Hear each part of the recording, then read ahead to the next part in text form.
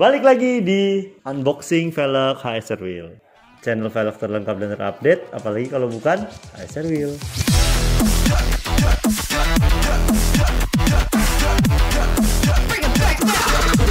Yang pertama nih, kita punya namanya HSR Formula.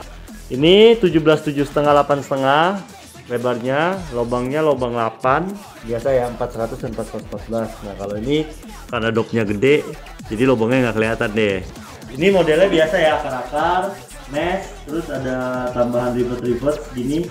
Ya ini untuk mempermanis saja warnanya black mesin untuk menimbulkan kesan mewah sih seperti itu. Jadi rada galak tapi nggak terlalu galak banget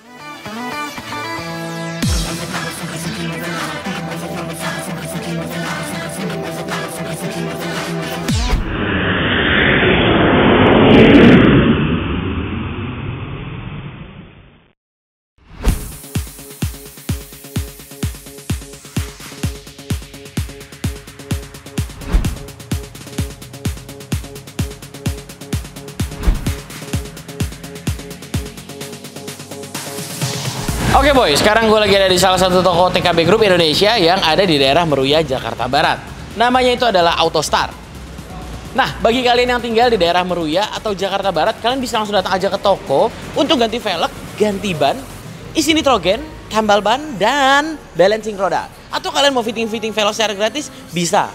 Atau kalau kalian mau spuring, 100 ribu rupiah saja bisa langsung datang ke toko. Nih, langsung aja kepoin dan follow akun Instagramnya. Ini velg udah lama banget sih, cuman karena masih populer, masih banyak yang minta, jadi kita masukin lagi. Ini kita punya namanya HSR RS. Nah, HSR RS ini 1689 lubang 8 silver mesin lip ya. Ini velgnya kalau yang mau elegan, retro, stand ya ini masuk.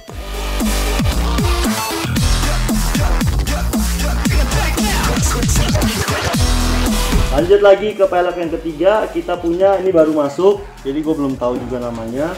Namanya HSR Tebang.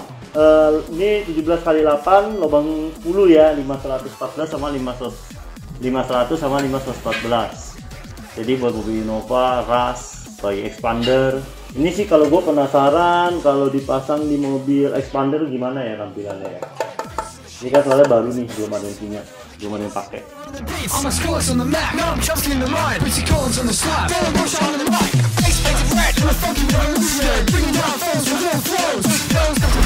Oke, lanjut ke PL keempat. Kita punya HSR original Mid 08. Ini uh, mungkin buat kalian yang ngikutin episode unboxing pasti kok Mid 08 Mid 08 lagi. Jadi ini masuknya ini ya apa namanya bertahap. Maksudnya bertahap kemarin masuk yang 15 nah ini sekarang masuk lagi yang 17 7 setengah tapi ini lubang 10 jadi lubang 10 ini 500 500 500 dan 514 jadi buat buat mobil Sienta buat mobil uh, expander Civic semuanya bisa. Kalau ini sih paling keren ya Innova Tas Expander gitu sih kalau ini.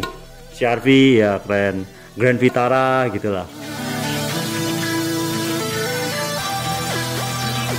Lanjut lagi kita punya sekarang Mid 07. Mid 07 ini adalah desain yang kita ciptain berbarengan sama Mid 08. Jadi dua dua ini adalah model Jeep tapi kita modifikasi untuk bisa masuk ke mobil uh, city car dan MPV dan MPV. Ini kita yang masuk ini 18 lubang 18 lebar 8, lubangnya 5 kali 100 dan 5 kali 114. Cuman ini warnanya baru ya, black, bibirnya bronze. Jadi buat kalian yang nyari 18 model Jeep takis ini boy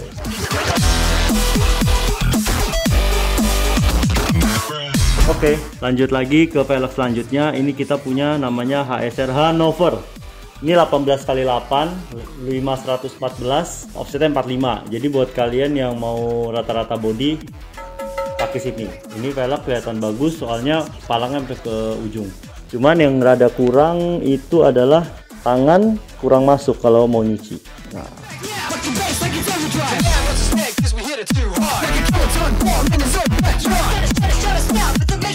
Oke, lanjut. Yang terakhir ada Mid 10. Nah, mungkin Mid 10 ini udah beberapa kali kalian lihat di unboxing. Nah ini yang terakhir datang uh, PCD-nya yang bedanya adalah PCD-nya ya. Ini 5114. Kalau yang kemarin-kemarin itu kan buat Fortuner Pajero, kalau ini buat Harrier, CRV, terus X5, udah Lexus, sikat ini. Ini velgnya ala-ala Lambo, Lamborghini. Asli.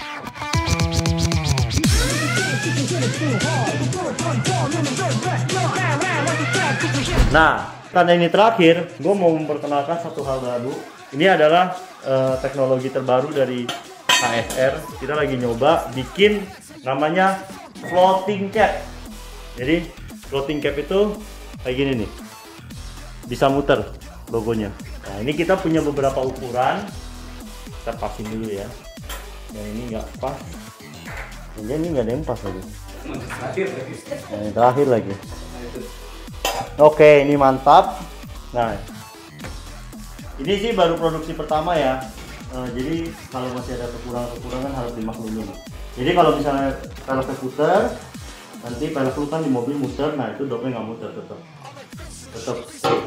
Tapi kalau nanti posisinya uh, udah jalan terus ngerem, baru ininya muter doknya, dalamannya. Kita punya dua warna, satu yang silver, satu lagi yang black nanti akan segera dioper ke toko-toko untuk bisa dipasang di mobil kalian oke? Okay? Oh, sekian ini aja berarti- Ini berarti nggak nggak ini ya, nggak aksesoris langsung nempel. oh enggak ini enggak diinputin ke velg ini dibeli terpisah harganya kisaran 400 sampai 600 ribu lah satu set.